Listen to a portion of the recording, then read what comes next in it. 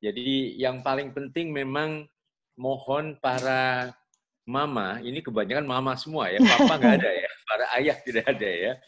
Tapi sebenarnya sama, para ayah dan ibu, para papa dan mama ini harus memosisikan sebagai teman buat putra putrinya, bukan sebagai bos, bukan sebagai atasan, ya, tapi sebagai sahabat.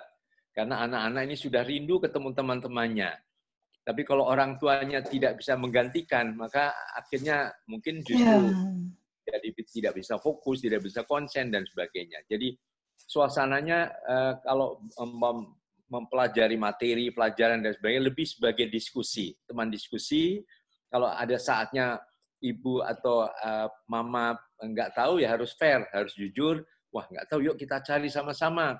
Atau kalau perlu telepon ke ke siapa? Ke gurunya, ke ke Mbak Lovely ya, mungkin Mbak Lovely sudah menguasai semua materi pelajaran dari SD sampai SMA misalnya gitu. Jadi uh, pokoknya harus apa sifatnya rendah hati, penuh persahabatan dan yang berikutnya adalah kreatif. Artinya kreatif itu jangan mudah menyerah begitu. Karena saya banyak dapat laporan, bukan hanya orang tua yang stres, Kak Seto katanya mama-mama juga stres gitu. Karena materi pelajaran seperti diblekan ke ya.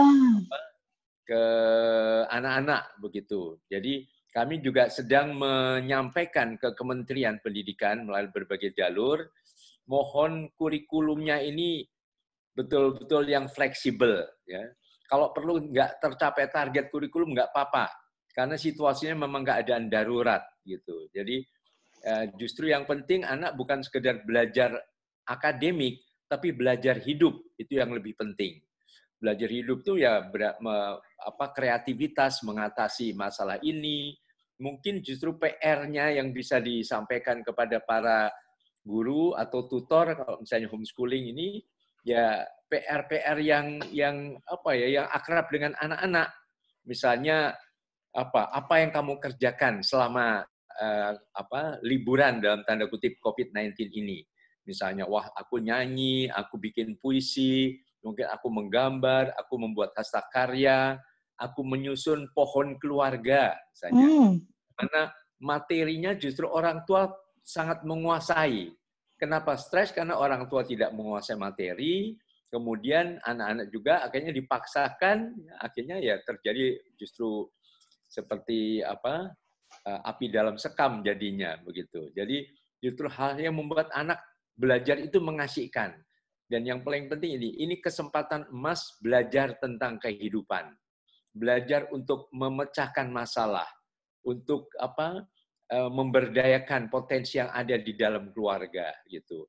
Kalau perlu suasana belajarnya itu ya ada kegiatan menyanyi, ada kegiatan menggambar, mungkin apa menanam apa eh, bunga-bunga di pot-pot ya. Kalau misalnya nggak ada halaman atau nggak boleh keluar rumah ya dengan pot-pot itu saja. Itu juga mengasihkan sekali gitu. Misalnya eh, saya di dalam keluarga saya ada sayembara membuat lagu. Nah lagu ini yang kemarin sudah saya ini kan mengenai bagaimana melawan corona. Lagunya kan kemudian dinyanyikan rame-rame Ayo kita lawan itu virus corona. Tetap waspada, tidak ke mana-mana. Jagalah selalu kesehatan kita untuk saat ini di rumah saja. Nah, kita di rumah saja. Jadi benar-benar belajar itu mengasihkan sekali gitu, penuh dengan dinamika, penuh dengan kreativitas, keakraban, persahabatan dan sebagainya. Saya kira itu yang penting. Jadi saya justru mengajarkan kalau perlu kalau kurikulumnya macam-macam membuat stres, tolak kurikulumnya. Gitu. Dalam arti kurikulum untuk anak, jangan dibalik anak untuk kurikulum. Ya. Betul. Kurikulum itu betul-betul sesuai dengan tujuan pendidikan. Pendidikan itu tujuannya apa sih? Yaitu mengembangkan potensi setiap anak didik menjadi dirinya sendiri. Yang selalu saya katakan, apa menjadi Rudi Habibi, atau Rudi Salam, Rudi Hartono, Rudi Khairuddin, atau Rudi Hadi Suwarno. Semuanya hebat pada bidangnya masing-masing. gitu. Saya kira itu yang paling penting dan mohon para mama dan papa siap menjadi artis serba bisa. Nah, artis serba bisa tuh kalau nyanyi ya nyanyi yang benar gitu. Jangan kalau maju tak gentar gimana mama? Maju tak gentar membela yang benar. Loh, nada apaan itu? Kalau jadi artis penyanyi ya tepat nadanya. Sol, mi, sol, do, mi, re, do, re, do, la, sol. Jadi anak akhirnya juga mendapatkan gambaran yang tepat. Kalau dongeng juga dongeng yang benar. Jangan pada suatu hari ada si kancil pergi ke pasar, mencuri ketimun, tangkap polisi, selesai. Datar terus begitu, tapi yang menyenangkan gitu. Dan mendongeng itu kan bisa dulu pangeran di Ponorogo dengan gagah perkasa naik ke atas kudanya, dodok, dodok, dodok misalnya. Jadi anak senang sejarah, senang biologi, senang apa saja karena suasananya penuh apa ya artis-artis serba bisa dari para orang tua itu sendiri gitu. Saya kira itu yang paling utama dulu, mungkin nanti kita bisa kembangkan dengan dialog-dialog lagi. Pokoknya bangga jadi orang tua yang menjadi guru paling hebat buat putra-putrinya di dalam rumah. Amin. Itu saja. Hmm, memang ya kalau bapaknya Kak Aseto enak banget. Kalau saya dulu anak-anak kecil-kecil susah banget tuh belajar nyanyinya tuh repot banget. Bikin lagunya setengah mati itu waktu mereka masih kecil. Di, di sekarang sudah ada Pak Thomas. Pak Thomas ini ahli kalau ibu-ibu mau bertanya trik-trik mengajarkan matematika. Ya Pak Thomas ya? ya. Iya, silakan dimanfaatkan. Ada Kang Irfan Hilmi. Kang Irfan ini sebetulnya dia uh, uh, spesialisasinya untuk anak uh, remaja. Beliau ini saya rasa cocok untuk anak SMP SMA.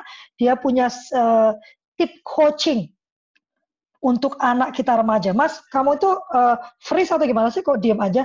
Agak bergerak dikit ya, ngeri banget. Diam aja, jadi ngeri banget aku melihatnya. Lalu ada Busani, Busani, Busani ini sangat uh, apa sangat uh, piawai mengelola komunitasnya. Dia punya banyak ibu-ibu dengan beragam dan Busani sanggup me mengurus mereka satu persatu. Pak Heri, kalau keberat keberatan boleh membuka kameranya supaya kita bisa saling mengenal. Selamat datang Pak Richard Maritime.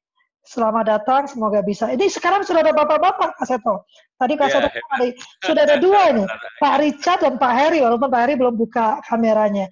Ibu-ibu, bapak-bapak, apabila ada yang mau ditanyakan, atau mau dikeluhkan, mau disampaikan, silakan. Mohon iya. angkat tangan dulu. Kalau agak ragu-ragu menyampaikan lewat uh, langsung, kita punya chat ibu bapak boleh mengirimkan pertanyaannya di lewat chat juga. Jadi kalau nggak nyaman menyampaikan langsung, boleh lewat chat. Silakan, siapa yang memberi pertanyaan? Ibu Ijum, Bu Ami, Pak Richard, Bu Duma, siapa? Oke, okay, Bu Ami. Sebentar, Bu Ami. Oke, okay, uh, wait, how do I do this? Oke. Okay. Oke, okay, silakan Bu Ami. Halo, selamat siang. Uh, ya, anak saya umurnya 4 tahun, sekarang masih sekolah sekolahnya di playgroup di NSC. Uh, yang mau saya tanyakan gimana kalau ngadepin anak anak saya ini termasuk manja gitu sama saya ini. Jadi uh, sebenarnya tuh dia bisa ngelakuin sendiri gitu. Kayak mau ngambil apa, ngambil barang, atau misalnya mau ke toilet, copot celana sendiri. Pas lagi saya yang nggak ada, mama saya bilang dia tuh bisa loh copot sendiri celananya. Gitu. Ada saya tuh udah kayaknya tuh histerisnya tuh aduh ampun ampun gitu. Kasih tahu iya ini kan kamu bisa buka sendiri gitu. Tapi tetap aja gitu. Itu sih gimana cara mengatasi anak supaya nggak terlalu manja banget gitu. Anaknya manja katanya kak Seto uh, nanti Mas Irfan, uh, Pak Thomas, Bu Sani boleh jump in ya. Artinya angkat tangan ingin juga menyampaikan pendapat. Karena kita menjanjikan ada 11 narasumber, bukan cuma satu. Ya, Kak Seto ada yang bisa diberikan tipsnya? Saya pikir satu-satu saja dulu. Silakan Kak Seto. Iya, memang uh, yang paling penting adalah kita tenang, tidak mudah emosi, ya, dan tadi kreatif kan. Jadi salah satunya kan bisa melalui dongeng melalui dongeng misalnya. Dia dongeng yang kemudian dia senang pada dongeng apa saja, entah si kancil, entah si kuda atau si macan atau siapa saja bisa dikreasi sendiri. Nah, tunjukkan bahwa tokoh dalam dongeng itu apa? Makanya banyak, waktu lomba selalu menang ya. Jadi akhirnya diarahkan pada kemandirian. Jadi akhirnya mungkin kita bisa bisa apa arahkan kepada anak. Nah, kalau gitu kalau bisa mau jadi kuat seperti itu si Pak Macan atau Pak apa si yang pokoknya jagoan tadi Pak Kuda atau Pak Buaya yang hebat tadi. Nah, kalau Pak Buaya kan makannya banyak, kamu juga makan dia makan makan sayur juga loh misalnya. Terus apa yang dianukan manjanya tadi apa gitu. Mungkin juga dengan lagu misalnya aduh kalau sebentar jatuh kok apa nangis misalnya tuh. Nah, Pak Buaya punya lagu apa uh, lagu ini nih jagonya Kak Seto nih. apa misalnya yang jatuh pergi tuh. Ya, eh, jadi apa? Nah, kalau misalnya lihatlah badanku kuat, misalnya tidak mudah menangis. Lah dia jalan-jalan bila jatuh berdiri cepat jadi anak yang manis. Nah, Pak Buaya gitu kan. Jadi dia nggak cengeng, dia hebat sekali gitu. Makanya waktu lomba menang karena nggak cengeng, gampang apa cepat berdiri dan tidak sebentar manja. Seperti ini contohnya kucing. Nah, mungkin kucingnya ini seolah-olah menggambarkan anak yang ingin dikritisi tadi sehingga anak merasa tidak tersinggung tapi ah kalau begitu aku nggak mau seperti kucing tapi seperti uh, apa si kuda atau si macan ini misalnya. Jadi kreativitas kita memang harus terus diasah pada kesempatan yang sangat apa berharga ini. Kita sekarang kan relatif nggak disibukkan kegiatan di luar, lebih banyak berada dengan putra putrinya. Nah, kesempatan itu bisa membangun komunikasi yang lebih efektif, keakraban, dan akhirnya anak juga bisa mendapatkan pengarahan yang tepat, tetapi dengan cara yang yang ramah anak dan penuh persahabatan. Saya kira intinya begitu, Ibu Ami. Luar biasa. Empat tahun kan, empat tahun masih iya. senangnya bermain begitu. Iya, Pak Thomas mau memberikan pendapat katanya. Silakan Pak Thomas. Tunggu, silakan. Yes. Ya, selamat sore Ibu Ami, Pak Seto. Ya. Kalau beli, ya. Saya hanya sekedar sharing saja, sharing ya. Jadi kalau Bu Ami mengatakan bahwa anak itu kalau mungkin di sekolah itu tidak manja, tetapi kalau di rumah kok jadi manja sekali gitu ya. Itu sering kali itu kita sebagai orang tua memang juga harus berubah. Seringkali kita sebagai orang tua itu sering kali tidak tega sama anak gitu ya. Wah, anaknya begini, nangis sedikit kita bantuin gitu ya. Ah, kemudian rewel sedikit kita kemudian ya apa yang harusnya dia bisa lakukan kemudian kita bantu. Jadi memang eh, satu hal kalau saya pengalaman sebagai orang tua ini ya, kita sebagai orang berubah bahwa kita juga eh, katakan sering kali orang tua kan tidak tega, jadi kita harus tega pada anak-anak. Saya kira itu saja. Terima kasih, Rafli. Menarik, menarik. Ya, Bapak intinya sebetulnya Kak Seto dan Pak Thomas itu mengatakan satu hal yang sama. Semuanya itu kembali ke kita kita yang harus berubah ya kan Kak Seto mengatakan ini masa yang luar biasa eh, sangat baik kita manfaatkan dengan mengubah diri kita menjadi lebih kreatif Pak Thomas mengatakan kita juga harus berubah supaya kita tidak memanjakan anak juga gitu kan? Karena saya juga sering menemukan hal seperti itu.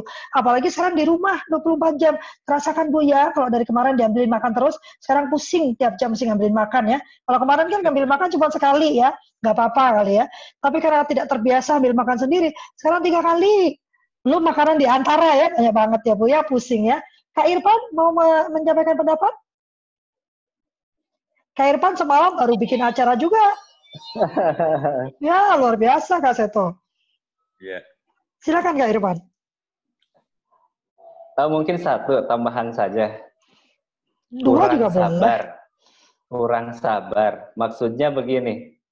Jadi uh, kita itu terlalu ingin cepat gitu. sebagai orang tua. Begitu. Karena mungkin kita lain atau apa segala macam gitu kan. Jadi anak itu ingin uh, cepat-cepat segera ditang ditangani. Akhirnya timbul tadi ketika anak uh, mau makan segera kita ambilkan. Ketika anak mau ke kamar mandi segera kita antarkan gitu. Padahal kalau kita agak sabar sedikit untuk memberikan kesempatan kepada dia untuk mandiri itu bisa sebetulnya. Hmm, menarik. Kitanya nggak sabar. Ya, iya, benar juga sebenarnya kan. Kan kadang anak pakai senjata ngerengeknya itu kan. Iya, benar. Ah, kita nanti aduh malu lah. Ada tante ada itu ngerangnya udahlah kayaknya kok saya mama yang nggak baik banget. Masa anak cuma minta minum aja nggak dikasih? Gitu kan? Iya. mama minum mama minum. Padahal kalau kita agak sabar dikit tunggu agak lama dikit aja pasti dia ngambil sendiri kan? Kalau nggak ya ngambil. Nggak mau. Ya udah nggak usah minum. Gitu kan? Oh oke. Oh, oh, Bu Nurdiana tadi udah masuk keluar lagi rupanya tadi ada masalah. Bagaimana Bu Ami? Atau Bu Duma punya eh, Bu Duma, Bu Febi punya pengalaman yang mau dibagikan?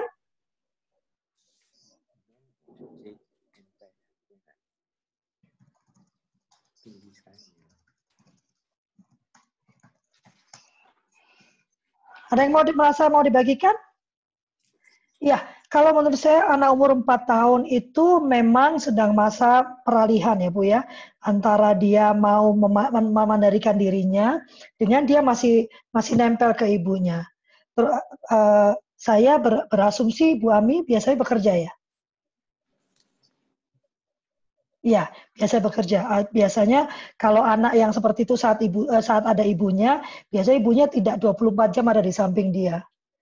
Jadi salah satu hal itu sebetulnya dia merindukan Bu Ami. Yang dia tahu kalau ngerengek itu pasti dapat, makanya dia merengek. Nah, sebelum dia merengek Bu Ami, saran saya kalau ibu pulang mandi, jadi sebelum melakukan apa pun, ibu harus ma- masuk mandi dulu ya Bu ya. Mandi, ganti baju dan itu bukan ditunda. Jadi saya mama belum mandi nak ya, nanti. Bukan gitu. Jadi ibu sampai eh, ibu langsung mandi, yang pertama dilakukan adalah memeluk anak dan langsung cerita, langsung ngobrol. Dan itu mungkin masih akan akan ada masa-masa dia masih ngomong eh, masih masih rewel. Tapi itu akan membuat dia tenang bahwa Bu Ami itu sayang kok sama dia walaupun harus kerja dari pagi sampai sore, ibu sayang kok sama dia. Jadi tidak perlu tidak perlu cari perhatian. Mama itu sudah memperhatikan saya. Jadi sebelum dia minta, Ibu Ami gendong, sudah makan sayang? Belum, Ma. Eh, ambil makan yuk, kita makan sama-sama yuk. Mau pipis? Kih, pipis, kih. Jadi sebelum dia minta, Ibu Ani dulu, pipis yuk, pipis ya. Tuh, sana yuk. Lama-lama dia akan tahu bahwa tanpa dia merengek pun, ibu itu sebetulnya sangat memperhatikan anak dia. Biasanya ini sindrom terjadi kalau ibunya bekerja. Karena kan eh, jauh nih, dia mau semua perhatian, apalagi empat tahun tuh zaman posesif ya. Semua perhatian mama itu ada untuk dia. Nah, mamanya masih capek, masih melakukan ini, masih jawab WA. Makanya saya selalu menyarankan, sebelum masuk ke dalam rumah, di dalam mobil, selesaikan dulu semua. Termasuk marahnya dari kantor. Kan kita kalau pulang dari kantor juga suka sebel ya, sama sama teman kantor, sama bos, itu ditaruh dulu di mobil. Kalau saya malah menyarankan kalau perlu teriak-teriak di mobil. "Ah!" Ya benar Kak Seto? Ibu-ibu juga stres juga kan Kak? Nanti kalau kita stres bawa ke rumah, anak rewel, diam kenapa? Gak tahu mama capek. Waduh, repot. Makanya di mobil kayak dulu, wah, udah selesai, turun, sudah tenang semua, sudah kembali menjadi eh, ibu yang baik hati. Nanti masuk, halo, sebentar ya, mama mandi. Langsung mandi, langsung, sini peluk mama. Aduh, mama kangen sekali. Sebelum dia mengungkapkan ibu, ibu ungkapkan dulu, mama kangen sekali. Dicoba ya Bu ya. Ada lagi pertanyaan yang lain? Atau Bu Ami masih ada yang mau disampaikan? Cukup ya. Oke. Cukup? Ada yang lain? Bu Duma? Kak Duma? Ini ada beberapa yang masih kesulitan masuk, Kak Seto. Hmm, ya ya, betul. Oh, Ya, Kak Duma. Bisa Kak Duma dibuka. mau bertanya? Silakan. Sebentar ya. Sebentar, saya tadi menjawab. Oh, ada Kak Dimas sekarang. Kak Dimas, apa kabar Kak Dimas? Saya merindukan Kak Budi, Kak Seto. Baik, baik, Kak Lovely. Mm-mm, saya kangen Kak Budi. Kak Budi masih masih ini kah? Ya, dia lagi rapat di kamar sebelah. Oh. Oke, Mbak Duma sudah terbuka. Silakan. Oh ya, Iya, Kak, saya mau tanya sama Kak Seto. Kak Seto, saya kan seorang guru sekaligus kepala sekolah ya. Jadi Oh, apa yang kakak jelaskan itu saya setuju sekali bagaimana kita menemani anak belajar di rumah. Nah, posisinya saya sebagai kepala sekolah, saya kan mesti memberikan arahan kepada guru-guru saya eh, untuk memberikan pelajaran yang yang tadi seperti kakak jelaskan itu lebih banyak bicara tentang kehidupan, ya. Tapi pada kenyataannya kurikulum saya bisa bicara di sini, bukannya posisi saya bisa Kak Lovely ya, bisa bicara di sini soalnya Rabu, hari Kamis harusnya guru ya. Nggak apa-apa, silakan apa-apa, aja. nggak apa-apa. Oke. Boleh. Nah, Apa yang nggak boleh buat Bu Duma? Cuma Kak Seto, eh, ini kan kita terbebani dengan kurikulum sekolah. Ya kan? Itu kan Hmm. materi pembelajarannya cukup banyak. Dan saya juga eh, sebagai kepala sekolah rip- me- cek report dari orang tua segala macam itu ya memang ada beberapa orang tua yang kesulitan dengan pembelajaran apalagi by online dengan mereka harus beradaptasi kayak gitu. Nah, eh, yang saya sedang pikirkan adalah bagaimana caranya supaya saya tidak ketinggalan kurikulum, tapi materi yang kakak Mbak sampaikan ini tetap bisa tersampaikan ke anak-anak. Gimana saya, Kak, bantu saya sebagai kepala sekolah mendelivery materi, me- apa ya, membimbing guru-guru supaya tetap kita sesuai dengan kurikulum sekolah, tapi eh, tetap ada kreativitasnya, tetap ada pembelajaran kehidupannya, kecakapan hidupan, kecakapan cakep, kecakapan hidup ya kak ya, itu tetap ada gitu kak. Eh, gimana ya kak? Bisa nggak ya? Iya, oke. Iya, baik Ibu Duma. Ibu Duma eh, apa? Kepala sekolah apa? SD, SMP? Saya pegang TK SD. Kalau TK kak, saya nggak bermasalah kak. Kalau Oke. TK itu oke banget kurikulumnya. Saya lihat guru-guru saya oke semuanya, belajarnya asik, orang tua asik, anak-anak asik. Tapi udah masuk ke SD, itu kayaknya beban anak itu berat sekali sebagai seorang siswa. Kalau udah masuk Iya. SD kak. Ya, baik. Eh, begini, Ibu Duma. Eh, pertama kita harus lihat isi pendidikan kita. Itu kan ada lima isinya. Nomor satu etika. Nomor dua estetika. Nomor tiga iptek. Iptek ini ya ya, ya kurikulum ya apa em, akademik tadi. Nomor empat adalah eh, nasionalisme. Bahwa anak bangga sebagai anak Indonesia. Dan nomor lima adalah kesehatan, termasuk olahraga. Nah, berarti IPTEK ini, kurikulum yang di- sering diberikan, matematika, segala macam untuk SD ini, ini kan seperlima dari isi pendidikan kita. Nah, etika, segala macam itu kan diajarkan di dalam keluarga sangat efektif. Bagaimana sopan dan santun, menghargai adiknya, kakaknya, hormat kepada ayah dan bunda, dan sebagainya. Estetika juga keindahan, mengatur kamar, menata tempat tidur, mengatur meja makan, itu dipraktekkan di dalam keluarga akan sangat efektif sekali. Nasionalisme juga, bangga sebagai anak Indonesia, orang tua sangat paham, dan kesehatan apalagi. Ya, makan, eh, istirahat, kemudian apa ada gerak badan dan sebagainya. Jadi sebetulnya kalau dilihat kita harus pandai menyiasati kurikulum itu. Ini bisa dibuktikan dengan sekolah misalnya. Nanti kita tanya kepada beberapa praktisi uh, homeschooling uh, non formal. Ada Kak Dimas juga bisa menjelaskan. Sekolah yang cuma tiga kali seminggu, per hari hanya tiga jam. Ini kok prestasinya anaknya hebat-hebat juga. Sampai bisa diterima di Harvard, di Amerika diterima di ITB, di kedokteran di uh, perguruan negeri seperti UI, UGM dan sebagainya. Hmm. Jadi berarti bagaimana menyiasati itu. Nah, salah satu yang mungkin para guru mohon juga bisa berkomunikasi dengan para orang tua. Jadi bisa menjelaskan apa? Intinya aja standar kompetensi lulusan. SKL-nya saja ditangkap gitu. Jadi misalnya kelas 1 SD, itu SKL-nya ternyata matematikanya anak cukup bisa menghitung sampai 20. Itu sudah cukup itu. Gitu. Jadi pada waktu nanti semester 2 bisa sampai 100 itu pun dengan kelipatan-kelipatan yang mudah. Misalnya 20, 30, 40 dan sebagainya. Jadi kalau itu ditemukan kenali oleh para orang tua, itu juga mungkin bisa mengakses ke apa eh, ya standar eh, apa pendidikan yang dikeluarkan oleh Kementerian Pendidikan dan Kebudayaan.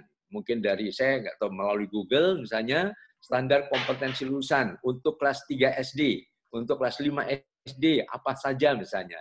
Nah, orang tua juga diajak bersama terlibat. Yang sering terjadi guru langsung memberikan tugas kepada murid. Nah, murid mengatakan, ini pokoknya harus begini ayah, harus begini bunda, dan sebagainya. Jadi akhirnya sering tidak nyambung begitu. Jadi komunikasi utama adalah guru dengan orang tua. Kalau perlu juga bikin semacam grup, grup WA misalnya. Jadi ada diskusi, ada pertanyaan dan sebagainya. Lalu ada pertemuan seperti dengan apa uh, web atau dengan uh, Zoom misalnya. Jadi ada diskusi juga dengan para orang tua. Jadi intinya adalah semua apa melindungi anak dari apa sih monster kurikulum yang kadang-kadang tidak ditangkap dengan jernih itu saja. Karena pada dasarnya itu juga bisa dikontrol. Jadi ini memang tingkat para orang dewasa yaitu antara guru dan orang tua. Akhirnya nanti orang tua adalah ujung tombak para guru untuk menjelaskan kepada putra putrinya. Nanti evaluasinya juga bisa dibawakan dengan cara yang lebih fleksibel. Artinya dalam keadaan darurat di mana-mana terganggu. Yes. Jadi yes. jangan sampai anak dikorbankan harus begini harus begini yes malah kontraproduktif jadinya. Yes, yes. Mungkin Saya, demikian Bu Duma, mudah-mudahan cukup yeah. jelas. Saya sangat setuju dengan tadi penekanan satu Kak Seto. Ini keadaan darurat. Iya. Yeah. Ini karena darurat. Seharusnya seyogianya yang menjadi pusat perhatian kita itu bukan penyelesaian kurikulum. Tapi ada momok yang lebih mengerikan sebetulnya.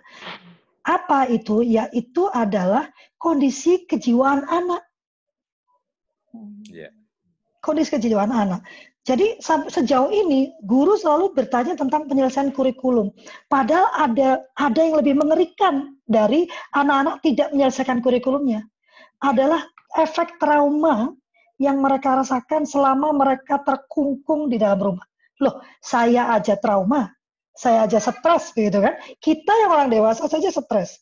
Terbayang nggak anak-anak ini yang dipaksa ada di dalam rumah terus menghadapi kita yang stres?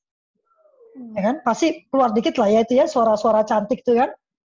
Diam, mama lagi meeting. Jangan masuk, nanti aja makannya. Ya kan? Itu lebih stres lagi benar ya Kak Seto ya. Kami benar-benar yeah. concern dengan anak-anak itu tidak mau lagi ke sekolah karena sudah ada beberapa orang tua ngomong ke saya, Kak, saya ngeri sekolahnya bersih bener nggak kak? Dropletnya gimana? Masih ada nggak? Aduh, saya nggak kirim anak saya ke sekolah deh. Ya, itu juga sesuatu yang perlu kita perhatikan. Tapi juga ada anak-anak nanti yang karena sudah satu dua bulan di rumah, dibentakin tiap hari, ya kan? Dikasih uh, pelajaran yang begitu beruntun, mereka bilang di rumah, no, no, no, no, no, no, no. Kalau yang dulu mereka bilang, aduh kak, pengen libur. Sekarang libur, kak, enggak, enggak, enggak, enggak, enggak, saya nggak mau libur, saya nggak mau libur.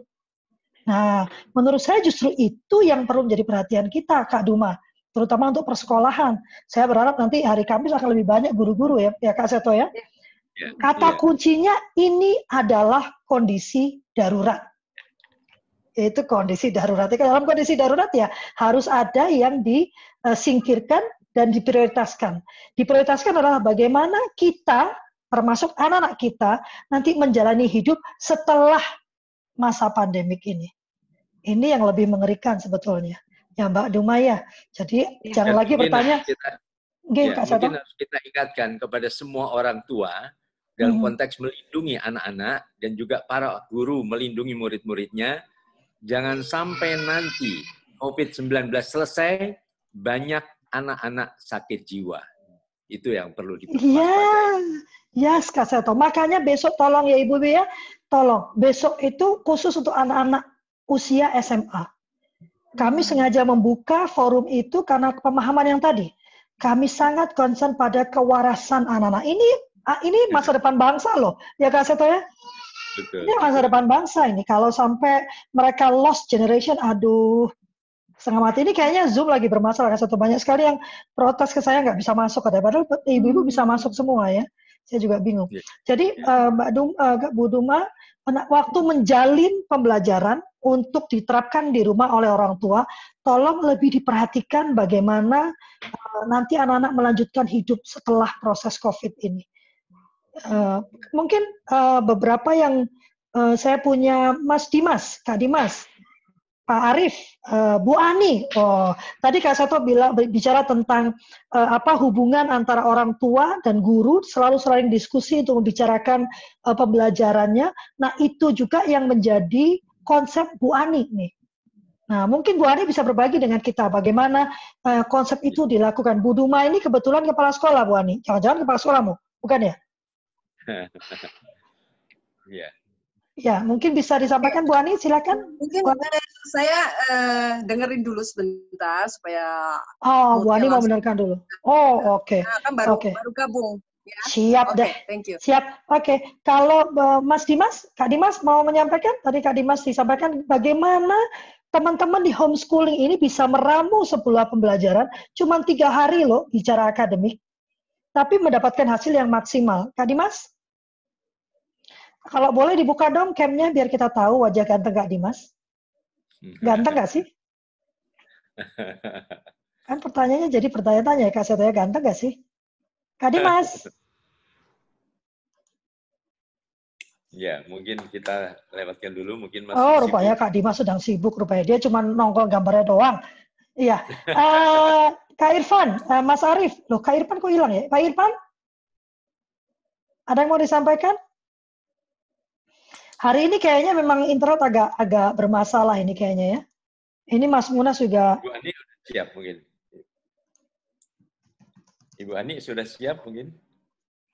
Ya, uh, Bapak Ibu memang ini saya buat khusus untuk sudah sign, yang sudah sign, sign in ke Zoom. Mohon maaf ya, memang uh, apa uh, uh, pengamanannya berlapis karena kan banyak sekali yang protes ke saya mempertanyakan apakah Zoom ini aman. Jadi semua proses pengamanan yang diminta oleh Zoom saya patuhi. Jadi ada yang kok saya mesti sign in kok saya ya memang uh, demi keamanan kita bersama ya uh, supaya nggak nggak jadi bobol. Uh, Mbak Buduma, apakah cukup ataukah perlu ada jawaban lagi? Cukup, Ibu Duma. Cukup ya? Oke. Okay. Ya. Oke. Okay. Uh, saya buka lagi uh, untuk yang lainnya, Mbak Phoebe, Ibu Ijum. Ah, oke, okay, Bu Ijum, sebentar Ibu, saya buka dulu. Oke, okay, silakan. Ya, mau tanya, itu kan anak saya umurnya empat setengah tahun. Mm-hmm. Ya, uh, murid saya juga di PAUD saya. Kalau iya, Efektif, jadi, Ibu ya? Iya, ya guru ya uh, mama juga kalau di sekolah itu uh, kayak apa ya ya patuh gitu uh, sama perintah saya kan saya gurunya dia tahu itu dia ngerti sama kepala sekolah sama guru yang lain juga patuh tapi kalau di rumah disuruh misalnya mewarnai satu gambar Doraemon atau hafalan doa misalnya doa mau makan atau hafalan surat pendek Anas atau apa gitu itu cuman setengah nggak bisa nggak bisa full nggak bisa selesai. Itu gimana caranya biar biar kepatuhannya itu sama kayak waktu dia di sekolah? Kalau diprotes sama ibunya atau sama saya kok nggak diselesaikan toh dek kan di rumah bu. Bukan di sekolah. Kalau di sekolah kan dinilai kalau di rumah kan enggak. Bilangnya gitu. Maksud saya biar ya hafalannya ya sampai selesai. Kalau uh, belajarnya misalkan mewarnai misalkan belajar nulis itu ya biar sampai selesai gitu loh. Caranya itu bagaimana? Oke, okay. saya punya uh, Kak Seto boleh menjawab, tapi nanti saya mau saya mau Pak Pak Arif misalnya seharusnya nih, Mas Arif, Mas Arif kok tidak bisa bergabung dengan suara ya Mas Arif ya? Pakai handphonemu lagi Mas Arif kayak kemarin Mas Arif karena beliau ini juga jago untuk urusan mengajarkan anak memahami mem memahami doa. Jagoan dia. Kaseto silakan memberikan tips-tipsnya. Iya, uh, memang sering terjadi anak-anak yang uh, putra dari guru ya di sekolah mungkin ya nurut karena apa? Karena lingkungannya kondusif. Artinya banyak teman-temannya yang menjadi penyemangat, yang menjadi pendorong, motivator dan sebagainya. Sehingga perilakunya juga diukur dengan perbandingan dengan teman-temannya. Sementara kalau di rumah beda, nggak ada nggak ada teman-teman yang lain ya. Kadang-kadang omelan dari orang tua yang terjadi. Nah, akhirnya anak-anak lebih termotivasi kalau di sekolah itu kayaknya lebih berprestasi begitu. Lalu kedua tadi eh, di, eh, saya dengar bahwa kalau saya suruh begini, suruh begini, Nah, saya selalu menghimbau, zaman now jangan mimpi punya anak-anak penurut. Kita akan frustasi. punya anak yang bisa bekerja sama. Jadi bukan kalau penurut, penurut, penurut, takutnya jadi robot, kehilangan kreativitas, kehilangan ide-ide orisinal dan sebagainya. Jadi justru yang penting di rumah itu bekerja sama, dilatih bekerja sama. Wah, yuk begini, ini lihat ini mama atau bunda begini, kamu coba bisa begini enggak misalnya. Jadi ada suatu apa persahabatan bahwa mama juga melakukan sama dengan kamu gitu. Jadi apakah misalnya menghafal doa, apalagi menghafal doa saya melihat di beberapa kasus anak yang sampai nangis-nangis karena ya. nggak bisa menghafal doa, tapi dipaksa, dipaksa, dipaksa, dan seterusnya. Jadi itu mungkin harus diubah caranya yang tadi nuansanya penuh persahabatan. Karena tekanan-tekanan, pemaksaan dalam situasi yang di rumah saja ini, sekali lagi saya sudah mewanti-wanti para orang tua bisa membuat anak-anak bermasalah dengan kejiwaannya. Betul. Ya, takutnya nanti selesai tahu-tahu dibawa ke rumah sakit karena harus dirawat dan sebagainya. Jadi jangan sampai hatinya terluka. Karena begitu terluka, nanti ada fobia yang terjadi. Fobia terhadap belajar, fobia terhadap sekolah, fobia terhadap hubungan dengan orang tua, dan sebagainya. Jadi marilah pada saat sekarang ini, selain bahaya COVID-nya sendiri, COVID-19 sendiri, bahaya cara menangani anak. Maka kemarin saya mengajak kita semua mengingat sebuah lagu. Kemarin di kamar mandi saya menciptakan lagu baru. Kita coba dengarkan lagunya gini ya. Uh, semua anak me, eh, semua anak merindukan kasih sayang kita. Mari mulai memeluknya dengan senyuman tidak lagi dengan cara penuh kekerasan. Mari mendidik anak dengan kekuatan cinta. Mari mendidik anak dengan C I N T A.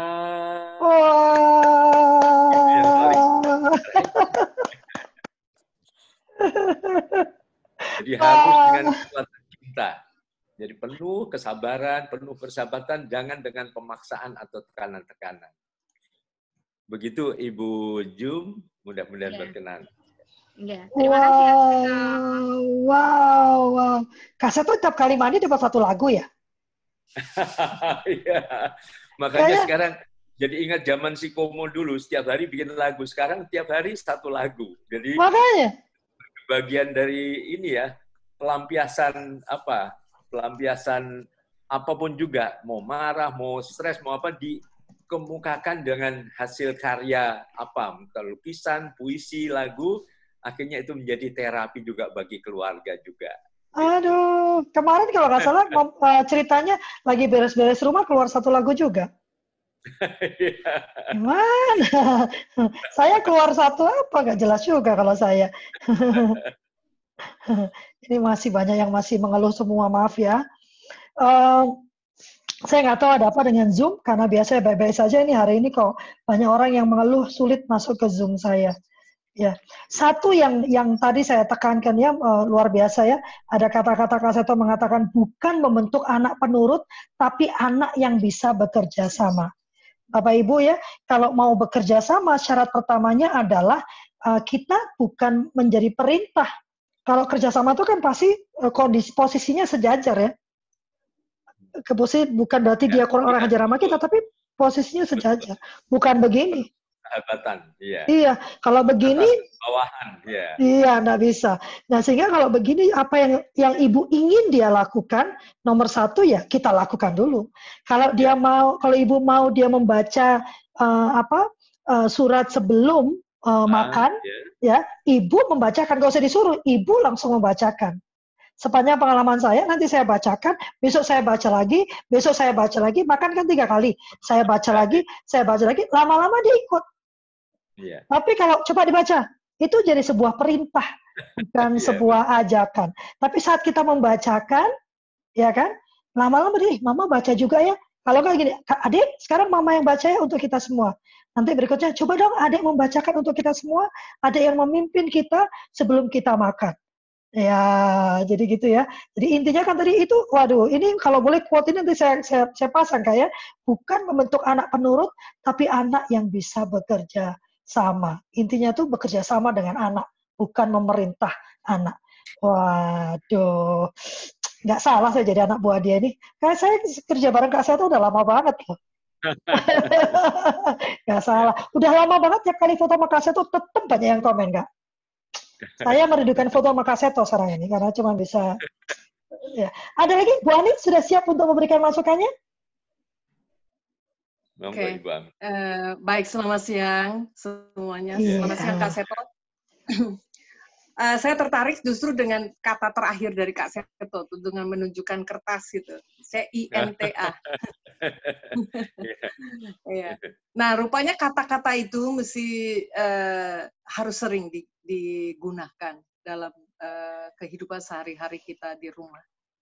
Lihat, eh, saya lihat eh, keluarga sudah kurang untuk ngomong tentang cinta. Jadi, nah, ya, jadi misalnya ada saya kasih contoh dalam arti ada delapan eh, power of words yang betul-betul eh, sangat efektif untuk menyatakan kepada anak-anak. Tentunya ber- kita bisa schedule aja hari ini mau ngomong apa ya. Contohnya satu, eh, nak, apa cinta sama kamu sambil peluk gitu ya Iya. juga menyatakan di depan eh, anak-anak, mah, papa cinta sama mama, lalu cium pipi kanan, pipi kiri di depan anak. Di situ anak bisa nyaman ada di rumah. Betul. Betul. Ya, Bu Lovely. ya, Kak Seth. Ya, kata-kata cinta itu yang eh, mesti terus didendangkan selain dari lagu maupun eh, dari kata-kata dan apa body language kita ya. Eh, mama juga demikian kepada anak-anak mereka.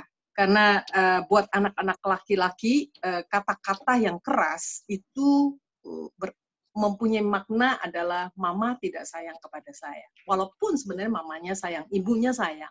Tapi dengan kata-kata kasar, seorang anak laki-laki itu paling betul-betul bahaya. Akibatnya eh, esok hari karena dia merasa tidak dicintai, dia bisa melakukan hal-hal yang kita di luar dugaan. Dia akan bertumbuh menjadi orang yang merasa tidak dicintai sehingga selalu menyakiti hati orang lain ya dan banyak perbuatan-perbuatan kalau di kita berdasarkan uh, literatur bacaan buku-buku kita tahu dari hasil penelitian juga banyak orang-orang yang menjadi penjahat uh, saat-saat ketika masa kecil masa di rumah itu mereka menerima uh, kekerasan dari orang tuanya. Dan uh, sayang pujian tidak ada ya penghargaan tidak ada sehingga mereka menjadi akhir ya diurut semua itu akhirnya mereka terluka memang jiwanya dengan jiwa yang terluka akhirnya mereka menjadi penjahat seperti itu. Nah uh, tentu saya tidak bisa rincikan di dalam pertemuan ini, tapi intinya ke situ. Yang kedua selain berkata bahwa nak mama cinta sama kamu, mama sayang sambil peluk mereka satu persatu setiap pagi ketika bangun tidur melihat mereka kita penuh dengan cinta kasih. Lalu yang kedua adalah ketika kita mau memuji anak itu bukan puji uh, fisiknya, cantiknya, gantengnya, bukan. Tetapi kita berkata, misalnya ketika anak bantuin cuci piring aja atau membawa piringnya dari meja makan uh, ke belakang, itu kita mesti puji. Aduh, mama senang sekali ketika kamu tadi bawain piring kotor ke dapur. Terima kasih ya nak, seperti itu. Itu membuat anak uh, lebih mau berinisiatif lagi untuk berbuat baik ya di rumah. Demikian pun ketika kita mungkin kita berkata bahwa tadi ketika kamu tolong adikmu atau menjaga adikmu atau yang lain-lain ya semua perbuatan yang dia lakukan yang sekecil apa pun itu kita nyatakan penghargaan kita kepada anak-anak kita. Yang ketiga adalah ketika kita melihat anak-anak mungkin di pagi hari, keesokan hari kita berkata, Mama bahagia memiliki kamu sampai dipeluk. Mungkin anaknya masih balita bisa diangkat, dipeluk ya, uh, dicium pipinya. Kalau yang sudah besar kita tepok, kita berkata, nak Papa bahagia memiliki kamu seperti itu. Tapi berapa banyak orang tua sakingnya sudah stres ya, emosi, gue bener-bener uh, kesel punya anak kayak lu, betul-betul sial punya anak seperti itu. Lalu kemudian ya dikutuki anak-anaknya ya, sehingga anak-anak merasa diri tidak berharga. Ya, tetapi kalau kita syukuri, kita merasa kita bahagia, saya mama bahagia memiliki kamu. Walaupun dengan kenakalan anak-anak suka mengesalkan kita, tapi tetap kata-kata yang keluar dari mulut kita, kita berkata, Mama bahagia memiliki kamu. Lalu kemudian ada lagi yang kita mungkin katakan begini, Papa bangga sama kamu. Wah nak, kamu betul-betul rajin sekali. Nah, kata-kata bangga itu, wah, membuat mereka betul-betul dihargai, mereka merasa diri seperti apa adanya diterima. Walaupun umpamanya hal yang tidak terlalu buat orang tua mungkin itu hal kecil, hal yang sederhana, ah, kayak gitu gampang. Tapi kalau kita katakan papa bangga, misalnya telah menolong mamahmu tadi untuk angkat barang itu, papa bangga sekali. Ah, luar biasa. Anak-anak laki di situ akan berperan sebagai uh, anak yang laki-laki yang bertanggung jawab tentunya. Nah, rasa tanggung jawab itu akan muncul karena kebanggaan uh, yang keluar ya lewat mulut orang tua. Ya. Lalu kemudian ada lagi, nah ini kalau ada nasi goreng kan biasa spesial, nasi goreng spesial pakai telur ceplok ya. Tapi ini anak-anak kita spesial ya, itu kekuatan mereka. Justru keunikan itu adalah kekuatan mereka. Kita bilang, nah kamu spesial sekali. Sambil kita peluk, kamu spesial sekali untuk mama, untuk papa, seperti itu. Lalu kita juga bisa katakan lagi yang lain, itu tadi udah empat lima ya. Oh, nah ini penting. Kadang-kadang orang tua kan suka suka apa ngintip, sidak. Ayo nonton apa ya? Lihat pornografi ya. Nah, gitu ya. Atau apa gitu ya. Main terus. Hah? Ayo, lihat main game lagi bukan baca buku, bukan belajar. kita tidak tidak seperti polisi di rumah. betul ya Kak Seto. Uh, anak-anak menjadi nggak betah kalau kita menjadi polisi di rumah. Tapi kita berkata, nak, mama per, mama percaya sama kamu. Sampai tepat, nggak usah nggak usah tengok lihat apa kamu, ha? baca apa kamu, nggak usah. Main apa kamu, nggak usah. Tapi bilang mama percaya sama kamu. Cukup itu aja membuat anak rasa nggak enak kalau melakukan hal-hal yang yang yang tidak baik. Ya. Lalu kemudian ada lagi percaya tadi ya yang selanjutnya. Ah ini. Ma aku nggak bisa ma. Itu itu tujuh susah. aku nggak bisa kan ada dua ya. Atau apa yang lain ya. Ah, mama aku nggak bisa tapi kita berkata kamu pasti bisa nak belajar. Nggak apa-apa. Walaupun ada mbak kamu bantu. Atau ada kakak kamu tetap bantu. Kamu pasti bisa. Lalu ada yang lain uh, yang lainnya uh, selain itu banyak ya. Itu mungkin udah cukup ya. Delapan ya lovely. Ya saya rasa cukup. Jadi kata-kata cinta harus didengungkan eh, selain lagu Kak Seto tadi dan juga kata-kata sayang yang keluar dari mulut kita dan pelukan uh, tindakan kita ya di rumah. Ada orang lama tapi wajah lama orang baru ini Kak Seto. Kayaknya ya. pernah kenal. Kayaknya pernah kenal gitu. Tuh yang itu Pak Lukman itu kayak pernah dengar ya Kak Seto ya? Pernah dengar ya? Nama Pak Lukman Hakim itu pernah dengar kayaknya ya? Iya, pernah kenal kan? Lihat, ah, beliau iya. yang selalu pakai topi ke um, iya. mahkota itu ya. Uh -uh. Kayaknya pernah kenal di mana gitu Kak Seto ya, lupa-lupa ingat gitu ya. Anak yang nggak pulang. Ya? Uh, iya, London. dia itu itu kayak anak yang nggak pulang-pulang, muter aja nama pulang deh Kak Seto memang begitulah ya, anak nakal. Iya, anak nakal satu ini ya, sibuk dengan kopi. Nggak mau kalah sama Bu Ani dia sibuk dengan kopi. Cuman sayangnya kopi opa tuh belum juga nyampe ke tempat saya. Kayak gimana sayanya jadinya ya? Saya udah dapat kopi opa dari beliau. Aduh, saya belum Kak Seto. Aduh, Pak Lukman, saya sekjen loh. Jadi main posisi. Selamat datang Pak Lukman. Jadi ibu-ibu tadi, yang berikutnya sebetulnya semua bicara hal yang sama ya bahwa kita itu menempatkan diri zaman sekarang tuh gak zamannya orang tua tuh menempatkan diri tinggi di atas anaknya. Sekarang ini masalahnya adalah kita itu uh, bukan sejajar dan bukan dalam artian mereka jadi kurang ajar ya. Itu satu hal yang oh ya silakan Kak satu. Dalam artian bukan menjadi kurang ajar gitu ya. Tapi kita menempatkan diri berada di sisi anak-anak. Jadi menjadi pembimbing. Kan ada yang di depan menjadi pemimpin, pembimbing, pendorong. Kita tuh ada di sampingnya, ya kan? Kita jadi pembimbing, kita jadi pelindung anak sehingga dia merasa aman dan nyaman. Yang paling gampang tuh jadi orang tua itu Bapak Ibu ya harus lebay akan kebaikan. Kebaikan ya, kalau kita biasanya kan orang tua tuh lebay sama keburukan kan. Perah pecah gelas harganya 25 ribu aja kan. Udah kayak uh, terjadi perang dunia kan. Kamu itu gelas. Luar biasa. Gitu kan. Tapi kalau dia melakukan kebaikan kita justru oh oke okay, bagus. Nah sekarang mesti dibalik pola berpikirnya. Yang baik-baik itu kita mesti lebay. Waduh, kayak Bu Ani tadi beri contoh ya. Aduh, anakku luar biasa gitu. Mungkin kalau yang pertama kali anak bilang, Mama sehat. Coba lihat, agak panas nggak? Gitu ya karena baru pertama kali melakukan. Tapi terus kita lakukan dia akan tahu bahwa ini adalah metode ini adalah bentuk hubungan yang baru. Dia tidak lagi dipandang sebagai objek dia adalah subjek yang dikasihi, yang dicintai, yang dihargai. Mas, uh, Mas Pak Lukman, Pak Lukman ini punya sekolah dolan di Malang, jauh loh dia dari Malang loh. Uh, Pak Lukman ada yang mau disampaikan kepada ibu-ibu ini tentang bagaimana mendidik sebetulnya tuh tadi bicaranya tentang ini tadi pertanyaan siapa ya Bu Ijum ya masih ya Bu Ijum kan. Tadi Bu Ijum tadi pertanyaan, anak saya itu kalau disuruh, karena anaknya juga murid, jadi kalau di rumah malah disuruh apa yang di sekolah mau, di rumah nggak mau, katanya.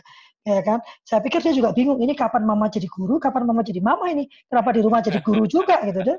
Mungkin dia juga bingung deh, ya kan? Perannya banyak banget mama ini kan. Pak Lukman jangan senyum-senyum, silakan memberikan masukan. Ada yang mau disampaikan? Dibuka dulu. Sudah. Ya, ya. Uh, selamat sore semuanya. Bahagia sekali kita bisa berkumpul bersama.